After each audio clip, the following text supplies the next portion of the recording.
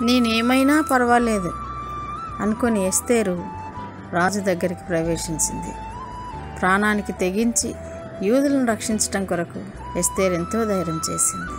ఎస్తేరును బట్టి దేవుడు యూదులందరినీ రక్షించుకున్నాడు.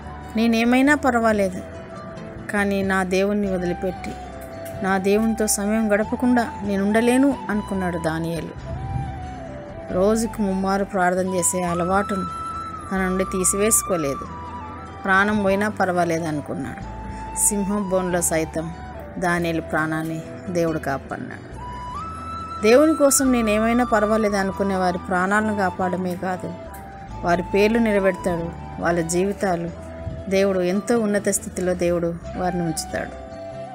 నీవు కూడా దేవుని కోసం ఒకవేళ నేనేమైనా పర్వాలేదు అని దేవుని పని చేస్తున్నట్టయితే దేవుడు నిన్ను కూడా తప్పకుండా ఆశీర్వదిస్తాడు.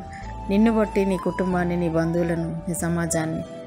నువ్వు ఉన్న స్థలాల్లో అనేకులను దేవుడు నీ ద్వారా రక్షించుకుంటాడు. అట్టి కృప పరిశుద్ధాత్మ దేవుడు ఈ వాగ్దానం వింటున్న వారందరికీ దయచేయను గాక ఆమె